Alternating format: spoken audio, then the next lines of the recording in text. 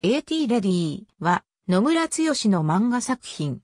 1988年第28回赤塚賞入選作。集英社の漫画雑誌、週刊少年ジャンプ1988年33号に掲載。その後、数回の読み切り掲載を経て1989年52号から翌年の11号まで連載された。岡野のデビュー作にして初コミック作品でもある。雑誌刊行元より、ジャンプコミックスレーベルにて、単行本が発刊、全2巻が発売された。自作品より、ペンネームを現在の岡野剛に変えているため、デビュー時の野村剛名義での唯一の単行本となっている。連載の終了が何の前振りもない打ち切りであり、単行本も2巻の発行が遅れに遅れたため、当時様々な噂や憶測が飛び交った。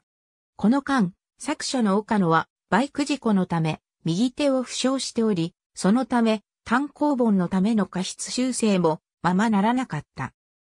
二巻の岡野のコメントには事故についての記述があり、骨折した右手が感知していない状態で単行本作業を行っていたようで、二巻の発行の遅れはこのためと言われている。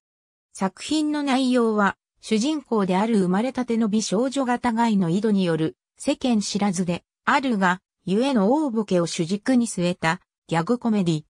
ギャグには低年齢レベルの下ネタが多用され、整った線の美少女キャラと意外と本格的な SF 的設定が繰り広げられる内容との間に一種のギャップを生み出している。科学技術の高度化により、巷にロボットが溢れ出した近未来、2001年。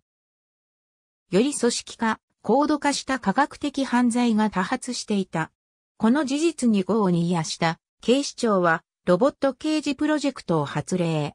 その開発、現場運用主任として若き機械工学の天才、春田純一を警部に任命する。春田警部の活躍により、ロボット刑事プロジェクトは一定の成果を収め、全録計画が立案、成功へと導かれた。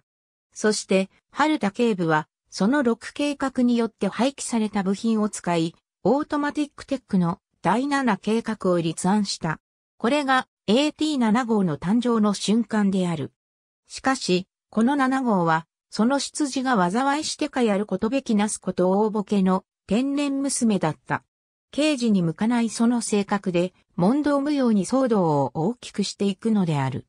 かくて、春田警部と7号、そして1号、2号、3号、4号、5号、6号の先輩ロボット刑事たちの愛と爆笑と苦難の大ボケコメディ生活が始まったのだった。主人公である7号も所属している AT の専門部署。AT は、ここの他に、己の特殊装備に適した部署の所属でもある。なお、開発された AT たちの動力源は、各融合反応炉である。また、警視総監の趣味から全員が女性型になっている。単行本第2巻の没設定紹介に男性型でなおかつロボット前とした外形の AT05 が紹介されている。悪の組織、悪の組織その他の犯罪者たち7号以外のマシンはすべて春田警部が作ったものである。連載の扉絵を飾るぐらいで作中では大した活躍は全くない。海の動物にちなんだ姿をしているものが多い。ありがとうございます。